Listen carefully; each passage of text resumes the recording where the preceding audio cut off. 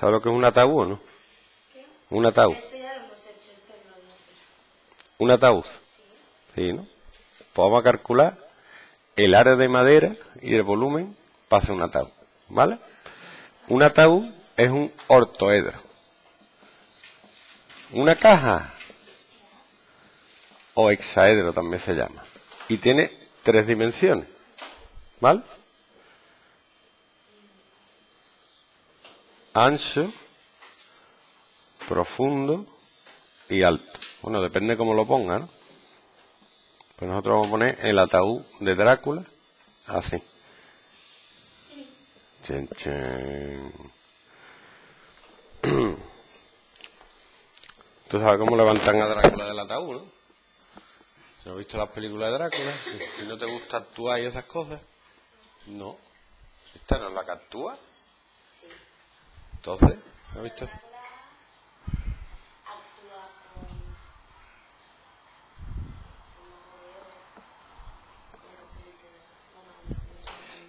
Oh, Drácula. Le ponen un, un palote detrás grande, largo, y aquí para que apoye los pies. Y tiene un tío debajo, hace así. Y, y está el tío se hace. "Uh", y se levanta. Todo porque solo no. Sí, ahí está. Sí, muy falso. Pero bueno, es Drácula. Tiene poderes, puede hacer lo que quiera. Esto tiene tres dimensiones. Le voy a llamar A, B y C. Luego le pondré número y lo calcularemos. Vamos a ver. Si yo abro las tapas de madera que hacen falta, ¿cómo me queda? Me queda el fondo este, que sería esto. Donde esto mide A y esto mide B. Luego la tapa de adelante. La tapa de atrás. Luego la tapa de arriba, que sería igual que esta. Esto mide A, esto mide B. Esto mide C, esto mide C, esto mide A. Luego la de los lados, que estarían aquí. Esto mide B y esto mide C. Ya tengo todas las tapas. ¿Vale? ¿Cuál es el área de cada una? El área de- son rectángulos. El área de esto es A por B. Esta es igual, es A por B. Esta mide A por C. Esta mide A por C. Esta mide. Esto mide B, B por C. Y esto mide B por C. Entonces, si sumo todas las áreas, me queda AB, que aparece dos veces, 2AB. AC, que aparece dos veces, 2AC. Y BC, que aparece dos veces, dos veces. No vale con aprenderse las fórmulas. Yo quiero saber por qué estoy haciendo algo. Tú no has visto a los directores motivando a los actores. El actor, es que no sé por qué este personaje hace esto ahora. Director, mira, tú eres un Tú eres Jonathan Harker y vas a llevarle a Drácula unos papeles para firmarlo. Y luego vas a volver y te vas a casar con tu novia.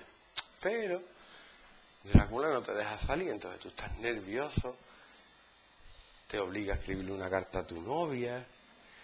Y tú, claro, le quieres dejar una pista para que vengan a salvarte. Hay que motivar las cosas, no puede ser... Yo quiero saber quién soy y lo que estoy haciendo hacer bien el papel. Bueno, ¿cuánto puede tener un ataúd de, de ancho? ¿No ves? Depende de lo fuertecito que esté. Un metro. Un metro es mucho. Venga, 80 centímetros. Lo voy a poner en centímetros, ¿vale? De profundo depende de la barriga que tenga. Voy a poner 60. Y de largo, pues Pau pues, no tiene el mismo ataúd que yo.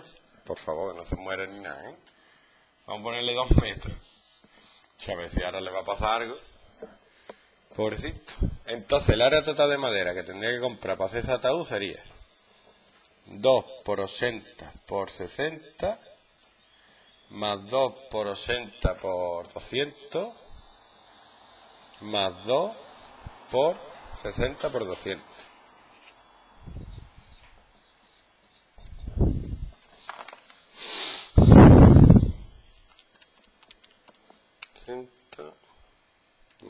Por 80 por 200 más 2 por 60 por 200.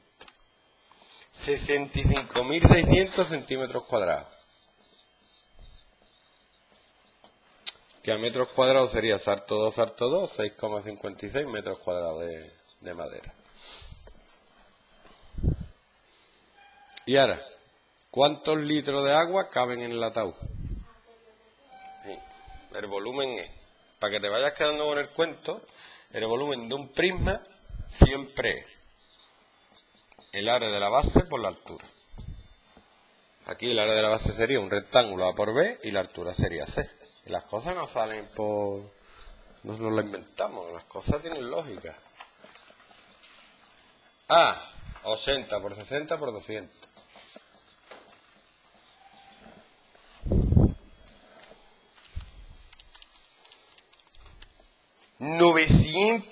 ¿Qué dice? Ah, vale, vale. Entonces serían 960.000 centímetros cúbicos. Que a litro, que son decímetros cúbicos, serían 960 litros.